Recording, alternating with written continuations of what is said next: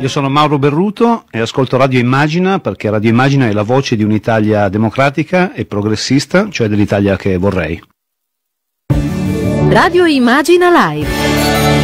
Con occhi nuovi e tante voci. Allora, lunedì 30 gennaio, sono passati 5 minuti dopo le 13, buon pomeriggio e ben trovati all'ascolto da parte di Cristiano Bucchi, un saluto alla squadra di Radio Immagina Live, è sempre la stessa, squadra vincente non si cambia, ne a Daniello alla parte tecnica, Silvio Garbini allo streaming, ve lo ricordo il numero per i vostri messaggi 342 14 26 902 possiamo subito iniziare con i nostri approfondimenti. Radio Immagina. È una giornata importante questa per uh, Radio Immagina, per i nostri ascoltatori e le ascoltatrici, perché uh, apriamo lo spazio dei nostri uh, fili diretti. I protagonisti saranno i, i, candidati alla segreteria del Partito Democratico. Iniziamo quest'oggi ringraziandola per averci raggiunta in, in studio, la prima de, degli sfidanti, l'onorevole Paola De Micheli, bentornata, benvenuta anzi a Radio Immagina. Grazie, buona giornata a tutti, grazie di avermi invitata. E grazie per aver accettato l'invito. Allora, dicevo, il numero per i vostri messaggi eh, da sfruttare nei prossimi 35-40 minuti è il 342 14 26 902. Allora, Iniziamo dal caso Giarrusso, facciamo così, eh, perché eh, due dei tanti messaggi che sono arrivati per lei, onorevole De Micheli, eh, scrivono questo. Allora, il primo è di Emiliano Di Luzio, apro Repubblica e leggo di Giarrusso, ex Movimento 5 Stelle, che entra nel PD per sostenere Bonaccini. Vi prego, ditemi che si tratta di un ennesimo brutto scherzo e poi Enrica Pascuzzi allibita e mortificata per il caso Giarrusso, ma questo partito è impazzito, possibile che si sia perso anche il buonsenso comune. Eh, lei questa mattina commentando questa notizia ha detto noi non possiamo diventare il partito delle porte girevoli, cioè? Beh, questa stagione, che è una stagione difficile, è stata caratterizzata da un continuo richiamo al, diciamo così, al fatto che devono entrare persone nuove dentro il nostro partito. Io lo condivido, nel senso che abbiamo pochi iscritti, abbiamo purtroppo più che dimezzato gli elettori in 15 anni e quindi è evidente che ci dobbiamo aprire. Però io penso che quando si, quando si decide di entrare in un partito si debba fare un percorso, non possa semplicemente essere l'atto formale dell'acquisto di una tessera. Se noi immaginiamo che eh, chi entra ora, dopo che ha detto le cose cose che ha detto già Russo su di noi, ha gli stessi diritti di un militante che per 15 anni eh, ha fatto tutto quello che c'è da fare per il Partito Democratico, i volantinaggi, la sveglia presto la mattina, il sostegno ai sindaci, sia quelli che ti piacevano o non ti piacevano, il sostegno ai parlamentari anche quando non li hai decisi, perché ormai gli iscritti purtroppo non decidono più niente nella nostra comunità, è ovvio che la reazione è una reazione rabbiosa. Io insomma, ero contraria al processo del congresso fatto così, sono stata l'unica dei candidati che ha avuto il coraggio di dirlo perché lo pensavano tutti. Tutti lo pensavano. Ah, tutti lo pensavano. Tutti lo pensavano, solo ma solo io ho alzato la mano Sì. insieme a pochi altri, un manipolo di coraggiosi in direzione per dire che fatta così non andava bene. Poi non- non- io non mi illudo che il Partito Democratico possa tenersi chiuso nelle strette stanze dei propri iscritti, che peraltro sono un decimo di quando l'abbiamo fondato. Non sto dicendo questo. Io dico che lo status di iscritto è una cosa importante, al punto che il nuovo modello organizzativo che propongo per il PD è molto concentrato sul ruolo degli iscritti, che diventano quelli che decidono tutto, che diventano quelli che fanno il proselitismo per 15 ore al mese, che trasformano il Partito Democratico nel partito della prossimità. Insomma, io ce l'ho molto concentrato, sono la sindacalista degli iscritti, qualcuno credo che se lo ricorderà, l'ho detto di recente, ma penso che questo status sia come iscritto, avente diritto al voto, che come candidatura abbia bisogno di un percorso di conoscenza della nostra comunità. Insomma, noi siamo una comunità anche che ha le sue complicazioni, ha la sua storia. Guardate, adesso ci scandalizziamo per Giarrusso, ma nei territori stanno entrando persone che magari anche fino a sei mesi fa, sette mesi fa, hanno fatto delle liste contro il Partito Democratico, che magari ci aveva il candidato sindaco piuttosto che Certo. cose di questo tipo. Allora, ripeto, io non sono contro l'apertura, io sono d'accordo sull'apertura, penso che ci siano dei percorsi da fare, penso che non possiamo diventare partito delle porte girevoli perché le porte girevoli hanno questo effetto, entri in un minuto, esci in un minuto, entri in un minuto, esci in un minuto, ma noi siamo il Partito Democratico, siamo il partito insomma, io vorrei che fossimo, io penso che siamo il partito più serio dell'arco istituzionale nelle nostre regole Vabbè, interne, nei perfetto. nostri rapporti. È, è mo- tutto molto chiaro. Allora, io ne approfitto per salutare anche tutti e tutte coloro che ci stanno seguendo sulla pagina Facebook del, del Partito Democratico. Vi prego, se avete domande, inviatele al nostro numero WhatsApp 342 14 26 902. Non credo che riusciremo a dare spazio a tutti perché sono. Vabbè, vorrà dire che tornerò. eh, assolutamente sì. Eh, allora, Angelo Zotti scrive da Salerno, onorevole De Micheli, in caso di disaccordo con la maggioranza del partito, si rimane a dare il proprio contributo come minoranza o si va via a formare un nuovo partito?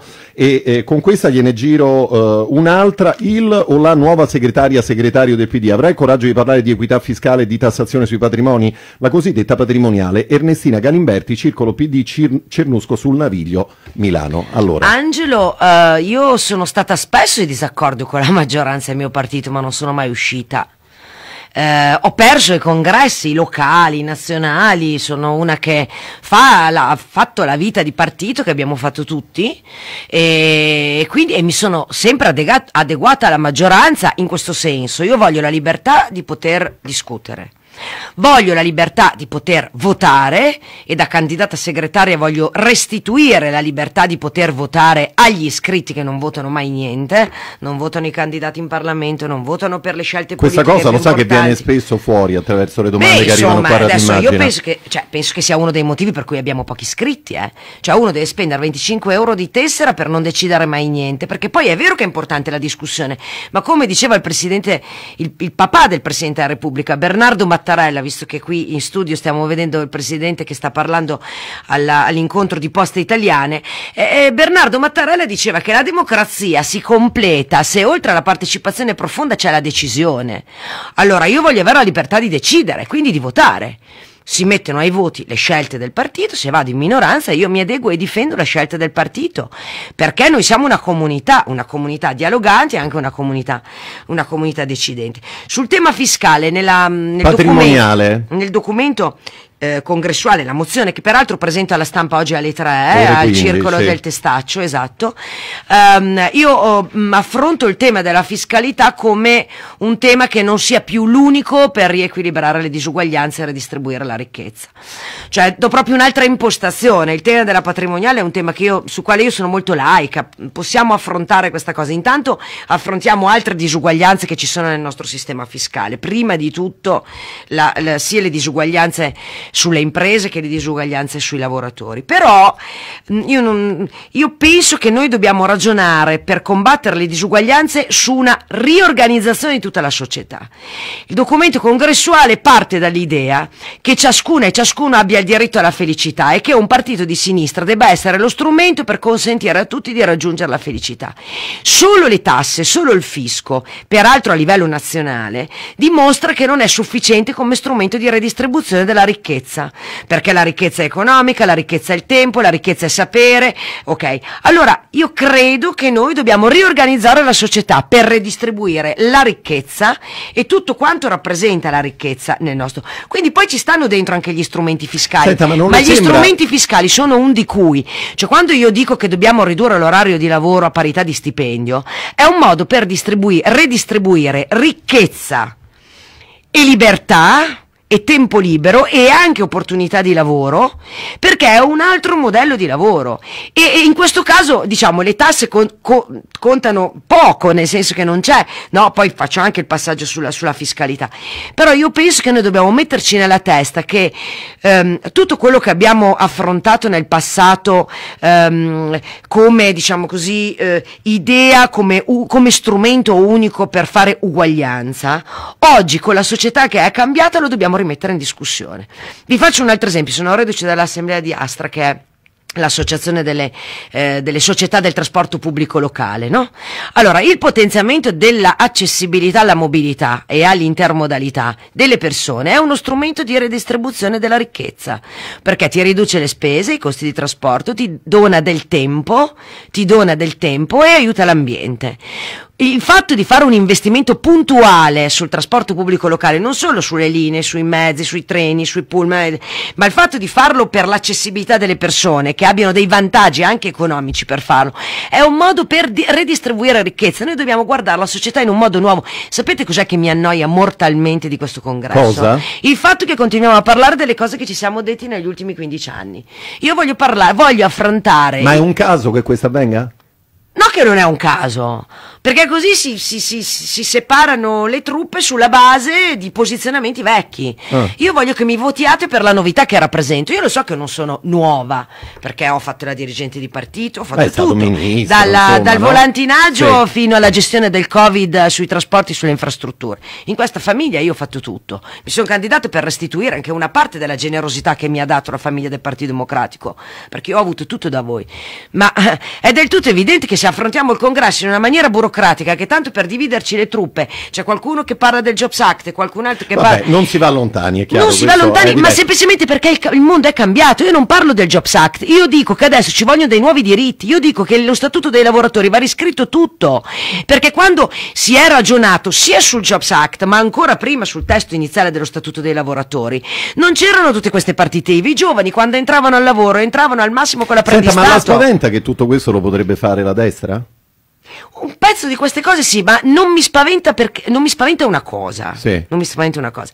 Il- la- la- le- I valori, il radicamento valoriale eh, della destra è talmente diverso dal nostro che se anche riuscisse a rispondere, mi sembra che non siano capaci perché finora hanno dimostrato un grandissimo dilettantismo, ma se anche riuscissero a rispondere puntualmente a qualcuno di questi bisogni, non sarebbero comunque capaci di farli con la stessa profondità e con la stessa equità, perché loro nel loro DNA la giustizia sociale, l'equità non ce l'hanno. Guardate, se c'è una cosa che mi faceva imbestialire due o tre anni fa, era leggere dei nostri dirigenti che avevano incominciato a teorizzare che la destra e la sinistra non esistevano più, che bisogna scegliere le persone, tutte queste robe qua. Non è vero, non è vero.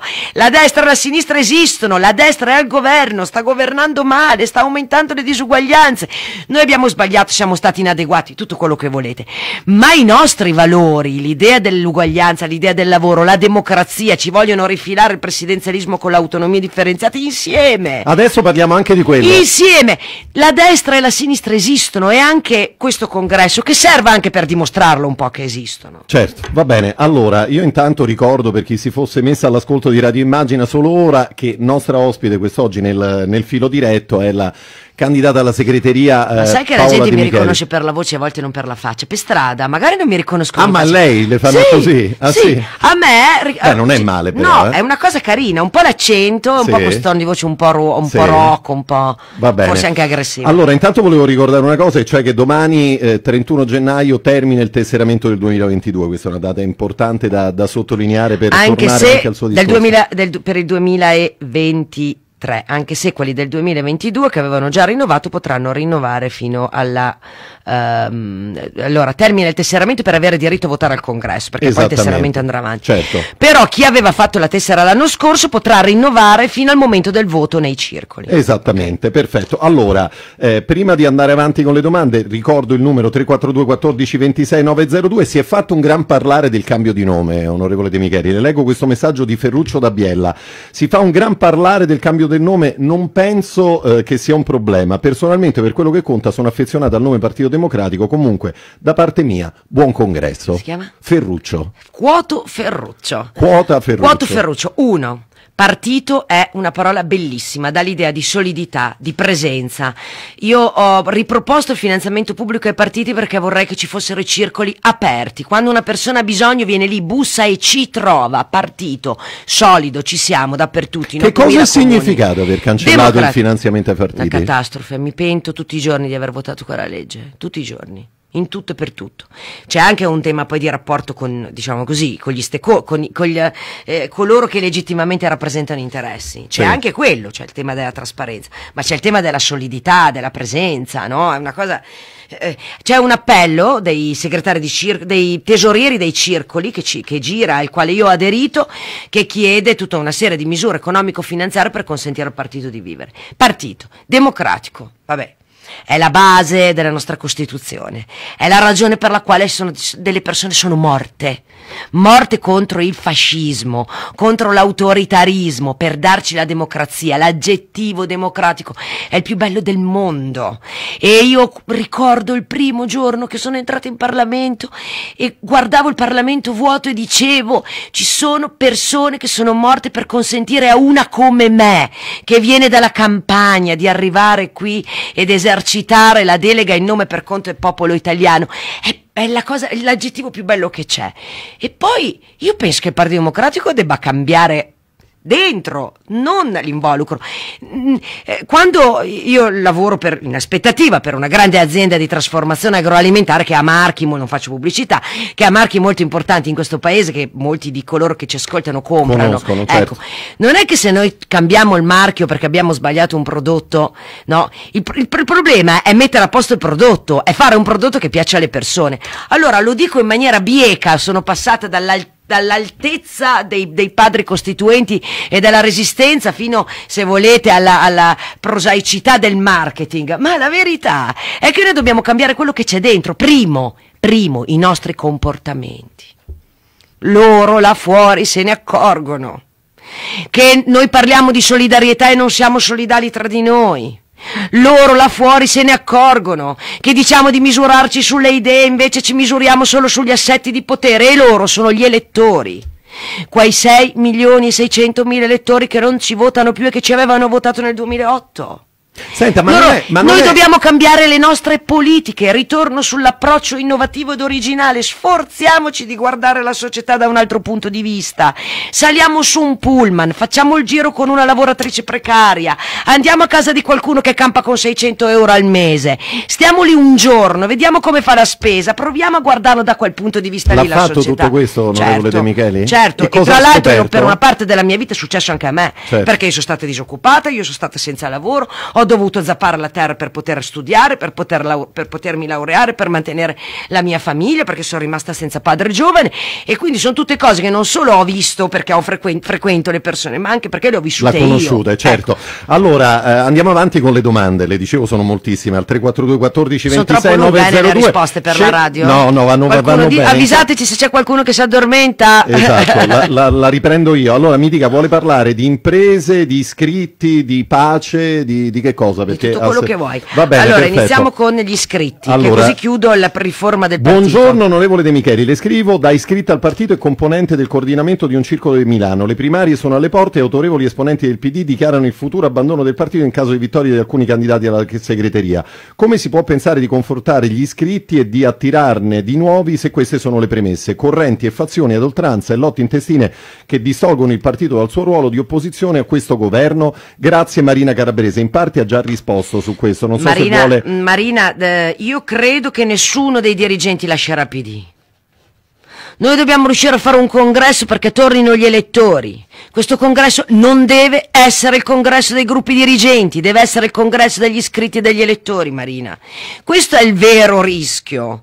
Poi io sono più vicina ad alcuni candidati, più lontana ad altri, non c'entra questo. Il punto vero del Partito Democratico è che noi dobbiamo provare a misurarci su quello che vogliamo che sia il partito nel paese che vorremmo costruire. E invece a queste due domande non c'è risposta per ora. Io sto provando a dare una risposta. Rif- rif- eh, riorganizzazione del partito. Sulle questioni fondamentali, nel, nos- nel partito che vorrei guidare, eh, gli, gli iscritti voteranno con un voto che vale doppio, gli elettori con un voto che vale uno, sulle linee politiche importanti, sulle politiche del lavoro, della transizione ambientale, sulle alleanze.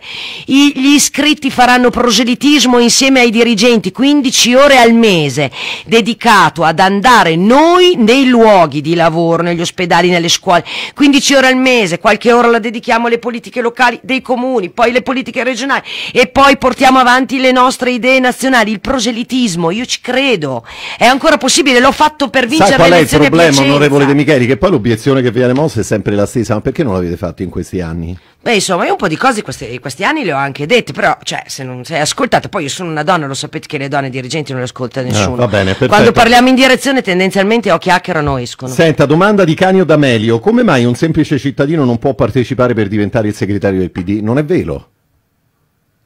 Da, dopo che è stato cambiato il, um, lo statuto a, non mi ricordo, a novembre forse, dove è stato tolto il vincolo dei sei mesi di iscrizione, se eh, si fosse iscritto entro la, diciamo così, raccolta delle firme, esatto, doveva iscriversi, poi raccogliere le firme.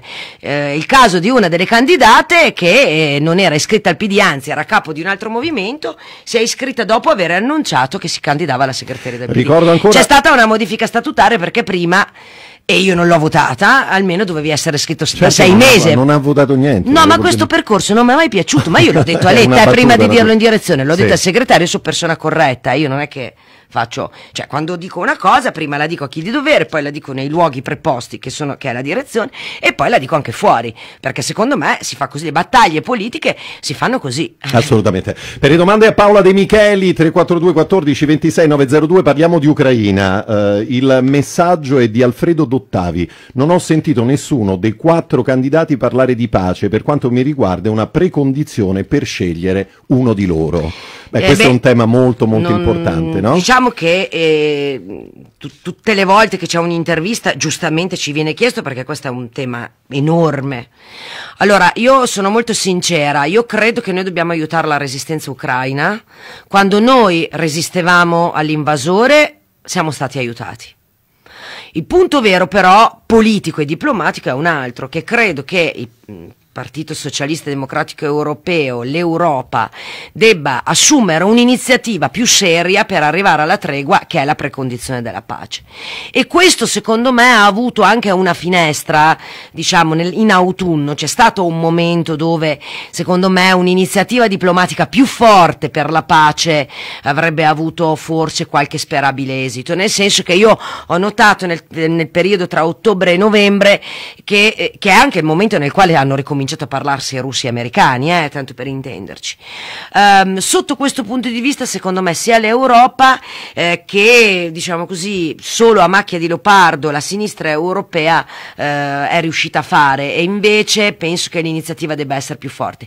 In tutto questo, però, guardate, ehm, noi siamo di fronte ad una guerra di aggressione cioè in, nella diplomazia internazionale, nel, nelle questioni di diritto internazionale, ci sono dei confini che sono invalicabili e quindi l'approccio sulla pace deve essere un approccio che non contempli la resa di un popolo, che resiste per difendere la democrazia nel cuore dell'Europa.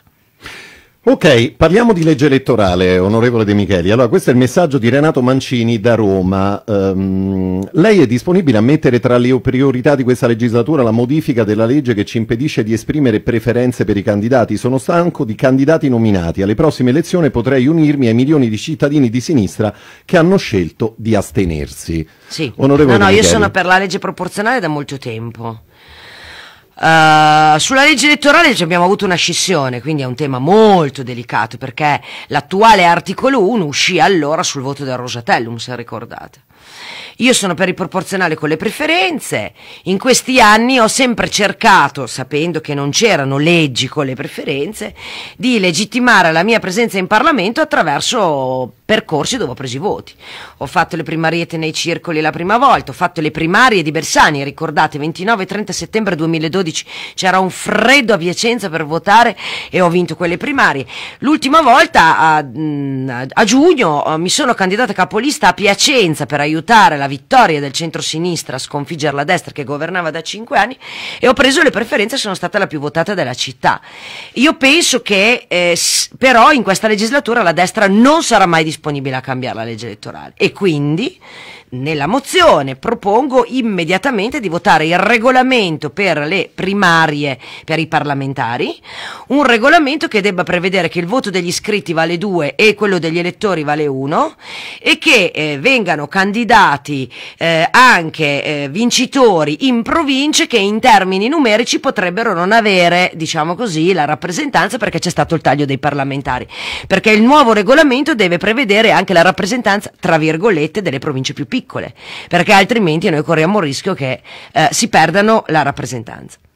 Va bene, allora, messaggio di Daniele Rubagotti con la cronaca onorevole De Micheli. La porto a parlare delle elezioni nel Lazio e in Lombardia, Sì. eh, 12 e 13 di Ieri ero con Maiorino a Milano. Ecco, parliamo proprio di lui. Per qualche giorno, scrive Daniele, accantonate la campagna per la segreteria. Venite tutti e quattro in Lombardia. Maiorino, il PD, noi cittadini abbiamo bisogno di voi. In Lombardia ci giochiamo tutto. Dimostriamo al paese cosa c'è dentro il PD. Abbiamo bisogno di voi. Questo è un bel messaggio. Insomma, Grazie, eh, grazie. Che situazione ha trovato in Lombardia? Allora, De sono stata a Milano ieri pomeriggio, abbiamo fatto un'iniziativa sulle politiche familiari, che è un tema sul quale il programma di Maiorino investe molto e anche il mio programma, infatti c'erano molte sintonie anche e soprattutto sulla visione della società di domani rispetto alla genitorialità. Eh, detto questo, io sono stata a Bergamo, sono stata a Brescia, sono stata a Pavia, tre città dove ho trovato una grandissima attenzione, al di là del congresso ovviamente sul tema delle regionali, città dove anche numericamente le nostre iniziative eh, vanno molto bene. Adesso cercherò di prevedere passaggi anche in altre città, ovviamente non disturbo Maiorino in persona, nel senso che lui dovrà, avrà il suo giro e laddove lui ha- dovesse aver bisogno chiama e sa che arrivo. eh, questo è successo nel passato, succede nel presente, succederà in futuro. Eh, ma ehm, eh, io penso che eh, in questa fase, insomma, noi ci, ci dobbiamo mettere tutto per dimostrare che siamo già un partito all'altezza di governare questa, questa regione. Guardate, attenzione, io trovo eh, una disponibilità ad ascoltarci aggiuntiva se parliamo di sanità. Lo dico ai nostri lombardi, ai nostri e ai nostri lombardi che ci stanno ascoltando. Parlate di sanità e proponete alle persone, incontrandole una a una, il nostro modello sanitario, perché le persone in Lombardia sono terrorizzate dallo scadimento della qualità della sanità è su quel pubblica. tema, secondo lei, che si giocherà molto Io ho trovato del 12 tantissime 13? persone che mi hanno chiesto questo per la Lombardia. Sì, sì, In Lombardia, chiaramente, insomma, Tantissime. perché la tantissime. Lombardia poi ci ricorda peraltro, peraltro una regione dove il lavoro, diciamo così, ha ancora mh, risponde, c'è il- tutto il mondo del lavoro, dell'impresa risponde, ma dove il rischio è appunto quello che l'impoverimento del lavoro, che è figlio del fatto che gli, st- gli stipendi non sono aumentati e che la- la- l'inflazione morde, eh, determina la pover- la- la- la- l'arrivo di un mostro che si chiama povertà sanitaria. Certo. E la povertà sanitaria è quella roba per la quale una famiglia non può comprare l'apparecchio ai denti ai bambi- a un bambino, perché deve scegliersi comprargli la carne o l'apparecchio ai denti. E anche in una società ricca come quella, noi questo rischio lo corriamo per, per la perdita di valore d'acquisto dei salari. Quindi io credo che il grande investimento sulla sanità pubblica, in un equilibrio rispetto alle eccellenze, alcune eccellenze che vengono espresse dalla sanità privata lombarda, un cambio di passo del disastro fatto in- nel combinato tra Fontana e la Moratti, sia assolutamente necessario. E su questo, guardate, ho una grande attenzione, forse anche perché sono stata ministro durante il Covid, quindi le persone mi ricordano con il volto collegato a scelte molto molto difficili che noi abbiamo fatto durante il Covid. Però nei miei giri ho trovato tanto questo argomento. Allora, siamo arrivati alle 13 e 32 minuti, abbiamo ancora 3 minuti a disposizione, vada, come d'accordo, scusi, onorevole. De Micheli. Allora, questa è la mh, domanda, saluto che le rivolge Daniela. Mi piace Paola, la tua chiarezza e competenza. Sei disponibile a condurre la segreteria a condizione che le, le discussioni interne si risolvano in un comunicato unico del nostro partito? Sì, però non voglio che votino all'unanimità. Cioè? Io non sopporto più l'unanimità. Allora, io ho visto segretari del partito dimettersi dopo che avevano avuto dei voti all'unanimità sulla relazione in direzione, sulla relazione in assemblea. Allora, io voglio che ci diciamo le cose in faccia, nei luoghi previsti. Io non voglio una, io vorrei essere una segretaria dove ho delle persone che vengono lì e mi dicono tutto quello che pensano con la franchezza con la quale la dico io.